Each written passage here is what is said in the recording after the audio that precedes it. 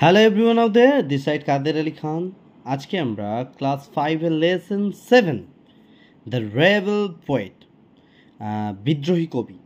Inner সম্বন্ধে আমরা এই টেক্সটটা পুরোটা আমরা পড়ব লাইন বাই লাইন এবং সিম্পল সহজ, সরল বাংলা মানে আমি তোমাদেরকে বলব প্রত্যেকটা ইম্পর্ট্যান্ট ওয়ার্ডসের সুতরাং তোমরা মন দিয়ে শুনবে এবং ভিডিওটা শোনার পরে যদি তোমাদের কোনো প্রশ্ন থেকে থাকে, অবশ্যই কিন্তু আমাকে কমেন্ট করে জিজ্ঞাসা করবে। তো চলো শুরু করা যাক।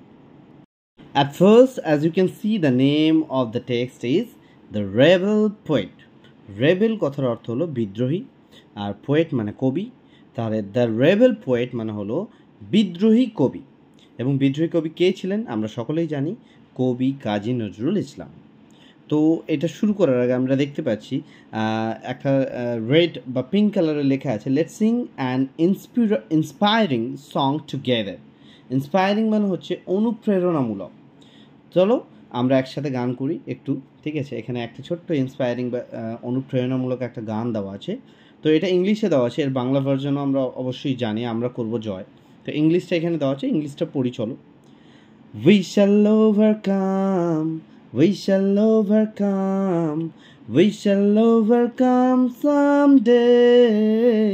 Oh, deep in my heart, I do believe we shall overcome someday. তো যাই হোক এবারে আমাদের গানটা হয়ে গেল এবারে আমরা মেন টেক্সটে যাব যেখান থেকে আমাদের আর কি টেক্সচুয়াল কোয়েশ্চেন আসতে পারে বা যেটা আমাদের সিলেবাস ইনক্লুড আছে মেনলি আর কি রাইট সো লেট স্টার্ট কি বলছে? Pritam is a student of class five Pritam হলো পঞ্চম শ্রেণির একটা ছাত্র। He returns home from school say school থেকে বাড়ি ফেরে। অল এক্সাইটেড এবং খুবই উত্তেজিত হয়ে। He finds his father reading a newspaper এবং সে দেখতে পায় তার বাবা একটা খবরের কাগজ পড়ছেন। এবারে আমরা এই টেক্সটটা দেখব। অন্যান্য যতগুলো টেক্সট পড়েছি আমরা এখনও পর্যন্ত, এর থেকে একটু আলাদা। এখানে দেখতে পাচ্ছি আমরা দুটো ক্যারেক্টার দেওয়া আছে। প্রথমে দেওয়া আছে প্রীতম এবং তারপরে দেওয়া আছে তার ফাদার রাইট এবং দুজনের মধ্যে একটা কাইন্ড অফ কনভারসেশন একটা কমিউনিকেশন চলছে রাইট সেই কনভারসেশনটা কী বা কিসের ওপরে বেশ করে সেটা আমরা এক এক করে পড়ব। ফার্স্ট প্রীতম কি বলছে? Father guess what happen today বাবা, বলো দেখি তো আজকে কি হয়েছে? তখন ফাদার বলছে হোয়াট ডিয়ার কি হয়েছে বাবা? বা কি হয়েছে প্রিয়? তখন প্রীতম বলছে আবার school teacher our teacher has asked us to sing a patriotic song on the Republic Day our teacher আমাদের শিক্ষক হ্যাজ আস্কড আমাদেরকে বলেছেন। এখানে আস্কড মানে কিন্তু জিজ্ঞাসা করা নয়, এখানে বলেছেন।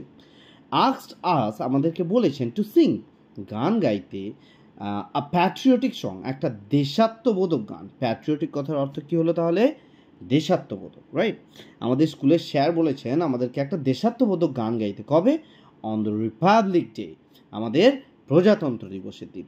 তখন ফাদার কি বলছে? Which song are you going to sing son তাহলে তুমি কোন গানটা গাইতে চলেছো, বাছা? তখন প্রীতম বলছে ma'am suggested that we should sing কারার ওই লৌহ কপাট ম্যাম সাজেস্টেড সাজেস্টেড কথার অর্থ কী হলো? প্রস্তাব দেওয়া রাইট ম্যাম সাজেস্টেড আমাদের ম্যাডাম বা শিক্ষিকা প্রস্তাব দিয়েছেন কি? দ্যাট যে উই শুড সিং আমাদের উচিত গান গাওয়া কি? কারারই লৌহ কপাট এই এই নামে একটা গান আছে, তো এই গানটা গাওয়ার জন্য ম্যাম আমাদের প্রস্তাব দিয়েছেন রাইট তখন ফাদার বলছে do you know who has written the song Pritam Pritam, তুমি কি জানো? Do you know who has written কে লিখেছেন? দ্য সং এই গানটা কে লিখেছেন? তুমি কি জানো, প্রীতম? প্রীতম বলছে নো ফাদার না, বাবা। তখন ফাদার বলছে he is our great poet Kazi Nazrul Islam the author of the famous poem Bidrohi. তখন প্রীতমের বাবা কি বলছেন? হি ইজ তিনি হলেন আওয়ার গ্রেট পোয়েট আমাদের মহান কবি কাজী নজরুল ইসলাম। দ্য অথর লেখক অফ দ্য ফেমাস পোয়েম মানে একটা খুবই বিখ্যাত কবিতা যার নাম কি হচ্ছে বিদ্রোহী।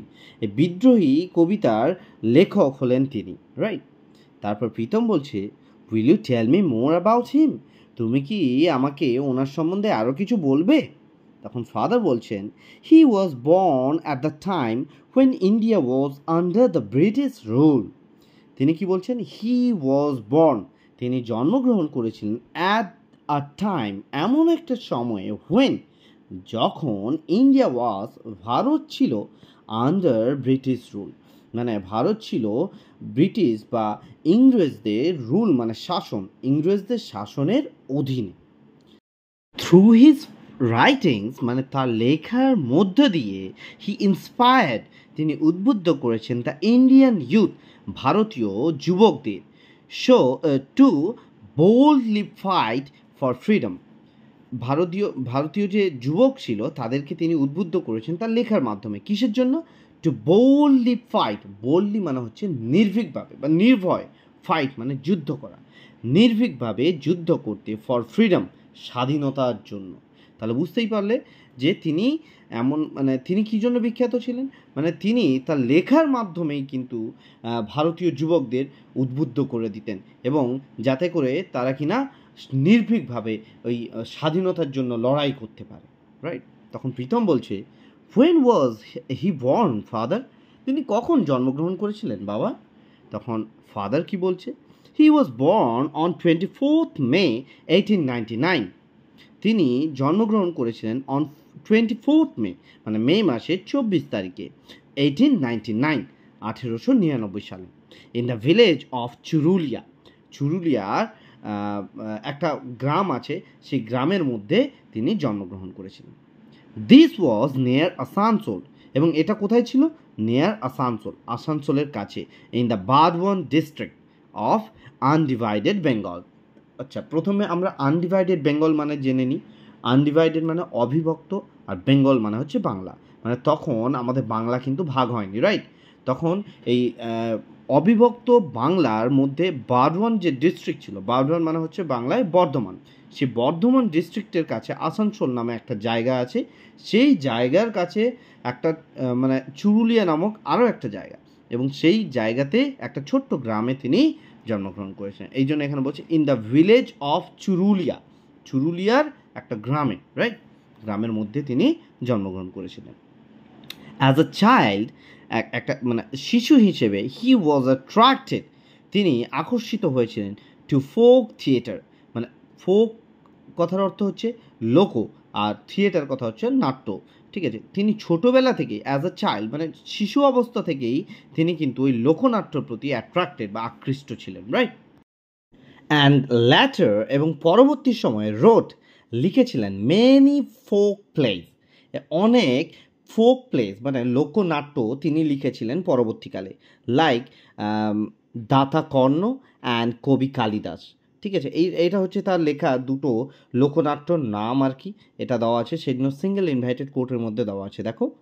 ঠিক আছে? এরপরে প্রীতম কি বলছে? দ্যাট ইজ ইন্টারেস্টিং বাহ, এটা বেশ মজাদার তো। তারপরে প্রীতমের বাবা বলছেন ইন নাইনটিন টেন উনিশশো দশ খ্রিস্টাব্দে নজরুল মেট নজরুল সাক্ষাৎ করেছিলেন দ্য রেভলিউশনারি নিবারণ চন্দ্র ঘটক। রেভলিউশনারি কথার অর্থ হচ্ছে বিপ্লবিক বা বৈপ্লবিক, ঠিক আছে? বা ক্রান্তিকারী বলতে পারো। নজরুল সাক্ষাৎ করেছিলেন ক্রান্তিকারী নিবারণ চন্দ্র ঘটকের সাথে। এবং কে ছিলেন ইনি? হু ওয়াজ যিনি ছিলেন হিজ টিচার তার শিক্ষক।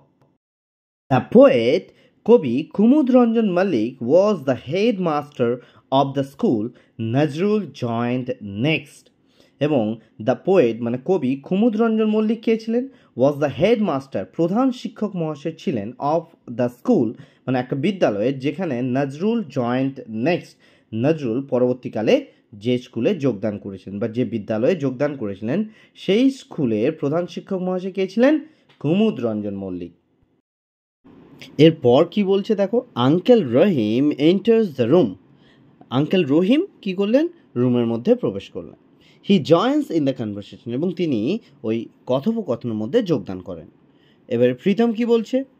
Did Kumud Ranjan inspire him to write poems Kumud Ranjan কি ওনাকে ইন্সপায়ার মানে উদ্বুদ্ধ করেছিলেন টু রাইট পোয়েমস কবিতা লেখার জন্য কি কুমুদ রঞ্জন ওনাকে উদ্বুদ্ধ করেছিলেন? এটা প্রীতম জিজ্ঞাসা করছে তার বাবাকে। তখন বাবা কি বলছেন? ইয়েস হ্যাঁ। বাট কিন্তু Nazrul was also influenced by Rabindranath and the Persian poets like Hafiz and Khayyam তখন প্রথমের বাবা বলছেন ইয়েস হ্যাঁ। বাট কিন্তু Nazrul was also influenced influenced কথার অর্থ হচ্ছে প্রভাবিত। Nazrul was also influenced by Rabindranath. মানে তিনি রবীন্দ্রনাথের দ্বারাও প্রভাবিত হয়েছেন অ্যান্ড এবং দ্য পার্সিয়ান পোয়েটস মানে কিছু পারস্যের কিছু কবি ছিলেন like Hafiz and Khayyam.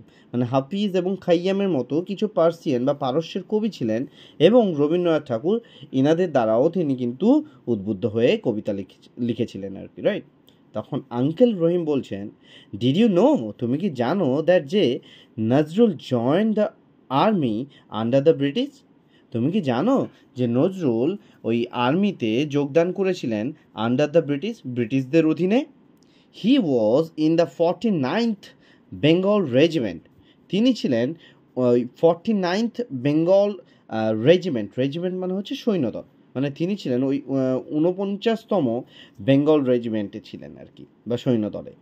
After the first world war মানে প্রথম বিশ্বযুদ্ধের পর দ্য রেজিমেন্ট ওয়াজ ডিসব্যান্ডেড মানে প্রথম বিশ্বযুদ্ধের পর কী করা হয়েছিল? সেই রেজিমেন্ট বা সেই সেনাদলকে ওয়াজ ডিসব্যান্ডেড মানে ভেঙে দেওয়া হয়েছিল বা বন্ধ করে দেওয়া হয়েছিল ইন নাইনটিন টোয়েন্টি উনিশশো কুড়ি সালে। সো সুতরাং হি কেম টু ক্যালকাটা এবং সেই কারণে তিনি কলকাতায় ফিরে এসেছিলেন। তখন ফাদার কি বলছেন? অ্যাট দ্যাট টাইম সেই সময়ে Indians had resign risen against the British rule তখন কি হয়েছিল? সেই সময় ইন্ডিয়ানস ভারতীয়রা হ্যাড রাইজেন রাইজ থেকে এটা থার্ড ফর্ম ইউজ করেছে রাইজ রোজ রাইজেন ঠিক আছে? রাইজ মানে ওঠা। এখানে হ্যাড রাইজেন মানে উঠে পড়েছিল এগেনস্ট দ্য ব্রিটিশ রুলস মানে ব্রিটিশ ওই বা ইংরেজদের রুল বা শাসনের বিরুদ্ধে ভারতীয়রা উঠে পড়েছিল। এখানে উঠে পড়া মিন্স রুখে দাঁড়ানো। এই কথাটা বলা হয়েছে বা তাদের বিরুদ্ধে এগেনস্টে দাঁড়ানো আর কি বোঝা গেল? এবারে কি বলছে? Nazrul protested against the cruelty of the British in his own way Nazrul কী করেছিলেন? প্রটেস্টেড প্রটেস্টেড মানে বিদ্রোহ করা বা প্রতিবাদ করা এগেনস্ট বিরুদ্ধে। কার বিরুদ্ধে? দ্য ক্রুয়েলটি ক্রুয়েলটি কথার অর্থ হলো বর্বরতা বা নৃশংসতা। অব দ্য ব্রিটিশ মানে ব্রিটিশদের বা ইংরেজদের যে নৃশংসতা ভারতীয়দের প্রতি ছিল, তার বিরুদ্ধে তিনি প্রোটেস্ট করেছিলেন, আন্দোলন করেছিলেন বা প্রতিবাদ করেছিলেন। And in in his own way মানে তার একটা নিজস্ব উপায় বা নিজস্ব পথ অবলম্বন করে তিনি কিন্তু এই প্রোটেস্টটা করেছিলেন বা এই প্রতিবাদ করেছিলেন। দেখো, প্রতিবাদ করার তো অনেক রকম উপায় হতে পারে, যেমন ধরো মারপিট করা, যুদ্ধ করা, ঠিক আছে? কিন্তু তার প্রতিবাদ করার উপায়টা কিন্তু একটু আলাদা ছিল। এবারে কি বলছে দেখো ইনফ্যাক্ট এমনকি he also started writing poems essays and songs to voice his protest এবং কি বলছে? ইনফ্যাক্ট এমনকি হি অলসো স্টার্টেড রাইটিং মানে তিনি শুরু করেছিলেন লেখা পোয়েমস কবিতা লেখা শুরু করেছেন এসেস বিভিন্ন কাব্য লেখা শুরু করেন অ্যান্ড সংস এবং কিছু গান লেখা শুরু করেন এবং সেই গানগুলো বা কাব্যগুলো বা এই সেই কবিতাগুলো কিন্তু এমনি নর্মাল প্রাকৃতিক বা অন্য কোনো কবিতা নয়। এই কবিতাগুলো ছিল বিদ্রোহের কবিতা, ঠিক আছে? যাতে করে ভারতীয়রা বা ভারতের যুবকরা উদ্বুদ্ধ হয় এবং তারা বুঝতে পারে যে না, আমাদেরকে কিন্তু এই ব্রিটিশদের বা ইংরেজদের বর্বরতার বিরুদ্ধে আমাদেরকে রুখে দাঁড়াতে হবে। সেই কারণে কিন্তু এখানে বলা হয়েছে in fact he also started writing poems essays and songs to voice his protest মানে তার যে আন্দোলন বা প্রতিবাদ, সেটাকে একটা মানে একটা কণ্ঠস্বর দিতে তিনি এই কবিতা, এই কাব্য এবং এই গানগুলো তিনি লিখেছিলেন। এবং এর ফলে কি বলছে? He is the rebel poet of India এবং তিনি হলেন ভারতের রেবেল পোয়েট মানে বিদ্রোহী কবি। এরপরে প্রীতম বলছে I hardly knew as much মানে আমি এত কিছু জানতামই না। অথবা এই লাইনটাকে এভাবেও পড়া যেতে পারে, আমি খুব কমই জানতাম এই ব্যাপারে। এরপরে ফাদার কি বলছেন you should read his poems তোমার উচিত ইউ শুড রিড তোমার উচিত পড়া হিজ পোয়েমস তার কবিতাগুলো। লাইক গান্ডারি হুঁশিয়ারি খেয়াপারের তরণী and also listen to his songs এবং আরও তোমার ওনার গানগুলোও শোনা উচিত। ঠিক আছে? The British were afraid that এবং ব্রিটিশরা বা ইংরেজরা ওয়ার অ্যাফ্রেড মানে ভীত ছিল দ্যাট এই কারণে যে Nazrul's writings could instigate the Indian freedom fighters কি বলছে? নজরুলস রাইটিং মানে নজরুলের লেখাগুলো কুড ইনস্টিগেট ইনস্টিগেট কথার অর্থ হচ্ছে প্ররোচিত করা বা উস্কানো রাইট উস্কানো কাদেরকে? দ্য ইন্ডিয়ান ফ্রিডম ফাইটার্স মানে ভারতের ওই স্বাধীনতা সংগ্রামী যারা ছিল, তাদেরকে নজরুলের ওই লেখা, কবিতা বা কাব্যগুলো বা গানগুলো যাতে প্ররোচিত করবে মানে প্ররোচিত করতে পারে, এই ভেবে কিন্তু ব্রিটিশরা বা ইংরেজরা ওয়ার অ্যাফ্রেড তারা ভীত ছিল। এবং এটা কিন্তু রিয়েলি হয়েও ছিল রাইট মানে তার লেখা কবিতা বা ওই গানগুলো শুনলে বা উপন্যাস মানে কাব্যগুলো পড়লে কিন্তু যে কারোরই রক্ত ঠকবক করে পড়বে যে হ্যাঁ আমাদের দেশের মানুষদের উপরে এত অত্যাচার, এত বর্বরতা করেছে, এত নৃশংসতা করেছে, না, এর বদলা আমাদের নিতেই হবে। এইভাবেই কিন্তু সবাই উদ্বুদ্ধ হয়ে যেত এবং সেই ভয়টাই কিন্তু ইংরেজরা পেয়েছিল রাইট তারপর প্রীতম কি বলছে? What did the British do তাহলে ইংরেজরা কি করেছিল? তখন আঙ্কেল রহিম কি বলছেন? দ্য ব্রিটিশ গ্রিউ পেট্রুভড পেট্রুভড কথার অর্থ হচ্ছে বিচলিত হওয়া আর গ্রিউ মানে বেড়ে ওঠা। তার মানে পুরো সেন্টেন্সটা মানে কি হলো? দ্য ব্রিটিশ গ্রিউ পেট্রুভড মানে ইংরেজরা বিচলিত হয়ে উঠেছিল। ফাদার তখন কি বলছেন? ইন নাইনটিন টোয়েন্টি টু উনিশশো বাইশ সালে Nazrul started a magazine Nazrul শুরু করেছিলেন আ ম্যাগজিন। ম্যাগজিন মানে হচ্ছে পত্রিকা। এবং সে পত্রিকার নাম কি ছিল? ধূমকেতু। ওয়্যার যেখানে হি পাবলিশড মানে তিনি প্রকাশিত করতেন। আনন্দময়ীর আগমনী, আ পোয়েম আচ্ছা এখানে প্রকাশিত করতেন না, প্রকাশিত করেছিলেন হবে। এবং সেই কি প্রকাশিত করেছিলেন? আনন্দময়ীর আগমনী, আ পোয়েম মানে একটা কবিতা প্রকাশিত করেছিলেন, যার নাম ছিল কি? আনন্দময়ীর আগমনী। এবং এটাও কিন্তু একটা তোমার হচ্ছে ওই উস্কানিমূলক একটা কবিতা। মানে যাতে করে ওই ভারতের যুব সমাজ বা ফ্রিডম ফাইটার্সরা পড়ে, উদ্বুদ্ধ হতে পারে এবং ইংরেজদের বিরুদ্ধে আরও বেশি করে রুখে দাঁড়ায়। সেই, সেটা, সেই ভাবনা চিন্তা করেই কিন্তু তিনি এই ম্যাগাজিন ধূমকেতুটা বা এই পত্রিকা ধূমকেতু চালু করেছিলেন এবং সেখানে ওই একটা কবিতা তিনি প্রকাশিত করেছিলেন। তখন আঙ্কেল রহিম বলছেন the British raided the office of Dhumketu. এর ফলে যখন ইংরেজদের কানে খবর গেল, তখন ইংরেজরা কী করেছিল? দ্য ব্রিটিশ রেডেড রেডেড মানে হচ্ছে হানা দেওয়া দ্য অফিস অফ ধূমকেতু। মানে ধূমকেতু পত্রিকার যে অফিসটা ছিল, সেই অফিসে কিন্তু বা দপ্তরে ব্রিটিশরা বা ইংরেজরা কিন্তু হানা দিয়েছিল। And the poet was arrested from Comilla এবং সেই কবিকে অ্যারেস্টেড মানে গ্রেপ্তার করা হয়েছিল বা বন্দি করা হয়েছিল ফ্রম কুমিল্লা। কুমিল্লা নামক একটা জায়গা থেকে রাইট পর প্রীতম বলছে হোয়াট হ্যাপেন দেন তারপরে কি হয়েছিল? তখন ফাদার বলছেন হি ওয়াজ ট্রান্সফার্ড মানে তাকে স্থানান্তরিত করা হয়েছিল কোথায়? টু দ্য হুগলি জেল মানে হুগলির যে জেল বা কারাগার, সেখানে তাকে স্থানান্তরিত করা হয়েছিল। অ্যান্ড দেয়ার এবং সেখানে হি বিগ্যান ফাস্টিং এবং সেখানে তিনি ফাস্টিং কথা অর্থ হচ্ছে অনশন, তিনি সেখানে অনশন শুরু করেছেন।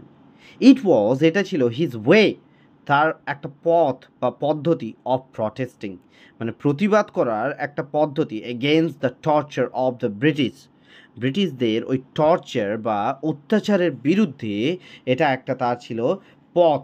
বা উপায় তাদের বিরুদ্ধে প্রতিবাদ করা। এই যে না খেয়ে থাকা বা অনশন করা, যার ফলে মানে তিনি মানে তা সবাই দেখো, অনেকে তো অনেক রকমভাবে প্রোটেস্ট করে। ইনার কিন্তু প্রোটেস্ট বা প্রতিবাদ করার ওয়েটা বা পথটা কিন্তু একটু আলাদা ছিল। তিনি না খেয়ে থেকে মানে জেলের মধ্যে তো না খেতে পেলে মানে অনেক দিন এইভাবে না খেয়ে থাকলে তো যে কোনো কয়েদি মারা যেতে পারে। এবং সেখানে যদি মারা যায় তাহলে সেই খবরটা বাইরে প্রকাশিত হবে এবং তারপরে বাকি সবাই কিন্তু রুখে দাঁড়াবে বা আন্দোলন করবে কেন একজন মরে গেল জেলে বা তাকে কেন এত টর্চার করা হয়েছে বা অত্যাচার কেন করা হয়েছে। তো সেই কারণেই কিন্তু ইংরেজরা ভয় পেত যাতে কেউ ফাস্টিং করলে, যাতে সে ফাস্টিং না করতে পারে, তাকে জোর করে দিনে কী হতো, মুখে নল ঢুকিয়ে খাওয়ানো হতো, জল খাওয়ানো হতো বা খাওয়ার মানে লিকুইড ফর্মে কী করা হতো, মুখের মধ্যে জোর করে পাইপটা গিয়ে ঢোকাতো যাতে করে তারা অনশন করতে না পারে, অনশন ভেঙে যায়। কিন্তু ইনি, ইনার ক্ষেত্রে কিন্তু সেটা ওরা পারেনি। তারপরে প্রীতম বলছে for how many days does he first father বাবা, উনি কতদিনের জন্য এরকম অনশন করেছিলেন? ফার্স্ট মানে হচ্ছে ওই ফাস্টিং থেকে এসছে ফার্স্ট মানে উপোস করা বা না খেয়ে থাকা বা অনশন করা রাইট তখন বাবা বলছেন he fasted for more than a month তিনি এক মাসের বেশি ওই অনশন করেছিলেন। In December nineteen twenty three, উনিশশো তেইশ সালে ডিসেম্বর মাসে he was release from jail. তাকে ওই জেল থেকে বা কারাগার থেকে মুক্তি করে দেওয়া হয়েছিল। রিলিজড কথার অর্থ হলো মুক্তি করে দেওয়া। দেখো, তিনি কিন্তু এই অনশন করেছিলেন বলে ইংরেজরা কিন্তু পরে ভয়ে ওনাকে মুক্ত করে দিয়েছিল ওই কারাগার থেকে, ছেড়ে দিয়েছিল রাইট তখন প্রীতম বলছে thank you so much father তোমাকে অনেক ধন্যবাদ, বাবা! নাও এখন I will be able to sing কারোর ওই লৌহ কপাট with zeal and passion I am so proud that the teacher has selected me for singing now I will be able now মানে এখন আই উইল বি এবল মানে আমি সক্ষম হব টু সিং গাইতে কারোর ওই লৌহ কপাট মানে এই গানটা গাইতে আমি সক্ষম হব উইথ জিল জিল কথার অর্থ হলো প্রবল উৎসাহ অ্যান্ড প্যাশন মানে আবেগের সহিত। আই এম সো প্রাউড আমি খুবই গর্বিত দ্যাট যে the teacher has selected me মানে আমাদের শিক্ষক আমাকে বেছে নিয়েছেন হ্যাজ সিলেক্টেড মি মানে আমাকে বেছে নিয়েছেন ফর সিঙ্গিং আমাকে গান করার জন্য যে স্যার আমাদের শিক্ষক আমাদেরকে বেছে নিয়েছেন, সেই জন্য আই এম সো প্রাউড আমি খুবই গর্বিত। তখন আঙ্কেল রহিম কি বলছেন? The let's hear you sing তাহলে তোমার গানটা শোনা যাক। We will sing along with you as well আমরা সকলেও তোমার সাথে গান করব। যাই হোক স্টুডেন্টস এইখানেই আমাদের এই টেক্সটটা কিন্তু কমপ্লিট হলো। আশা করছি তোমাদের ভালো লেগেছে। পুরো বিষয়টা আমি যতটা সম্ভব ইন্টারেস্টিং করে তোমাদের সামনে তুলে ধরার চেষ্টা করলাম। যদি কারও কোনো জায়গায় স্টিল কোনো কনফিউশন থেকে থাকে, অবশ্যই কিন্তু তোমরা নিচে কমেন্ট করে জিজ্ঞেস করবে। এনিওয়েজ টেক কেয়ার বাবাই আমি নেক্সট ভিডিওটা খুব তাড়াতাড়ি আপলোড করব রাইট